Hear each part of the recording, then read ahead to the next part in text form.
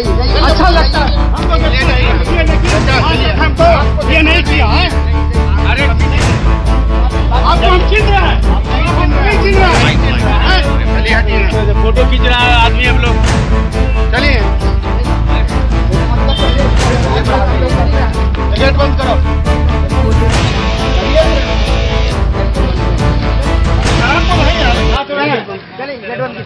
भगवंत सिन्हा द्वारा राहुल गांधी पर जिस तरह का बयान दिया गया है और खास तौर पर जिस तरह से अखिलेश यादव के मंच पर वो अपनी पत्नी पूनम सिन्हा का प्रचार करते नज़र आए जो कि लखनऊ से चुनाव लड़ रही हैं राजनाथ सिंह के खिलाफ सपा की टिकट पर खास तौर पे इसके लेकर बिहार में कांग्रेस कार्यकर्ताओं में जमकर आक्रोश है।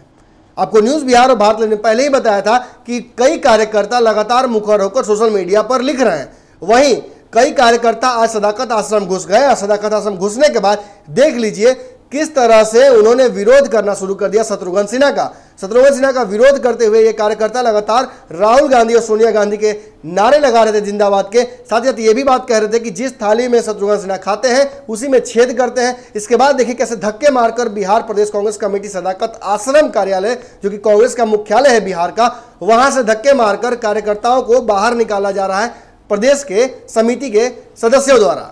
देख लीजिए इस फुटेज में कैसे लोगों को ढकेल कर बाहर निकाला जा रहा है। ये वो लोग हैं जो कि शत्रुघ्न सिन्हा पर आरोप लगा रहे हैं कि उन्होंने राहुल गांधी के खिलाफ जो बातें बोली हैं, जिस तरह से उन्होंने मर्यादा का हनन किया है, सपा का प्रचार कर रहे हैं, कहीं ना कहीं इसकी वजह से कांग्रेसियों में गुस्सा है। देखिए इस गुस्से की तस्वीरों को और देखिए किस तरह से पटना साहिब के प्रत्याशी, जो कि कुछ दिनों पहले तक कांग्रेस के प्रत्याशियों को हराते आ रहे थे शत्रुघ्न सिन्हा, अब कांग्रेस का दामन थाम कर यहाँ से चुनाव लड़ रहे हैं। ऐसे में इनको कांग्रेसियों का भी साथ मिलता नहीं दिख रहा है।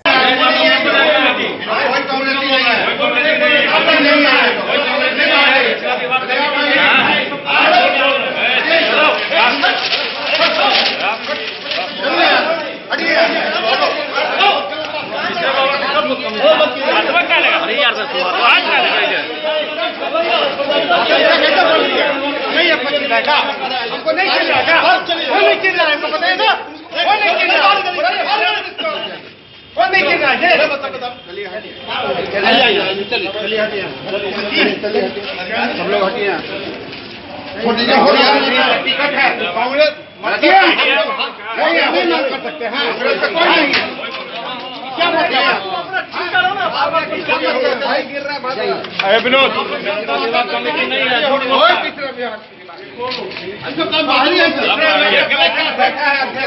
लगा माइक लगा अरे आज तक आश्रम में नहीं आया कभी। ये बीजेपी का होगा तो भेजा तीसरा विभाग अभी अभी हाल में तीसरा विभाग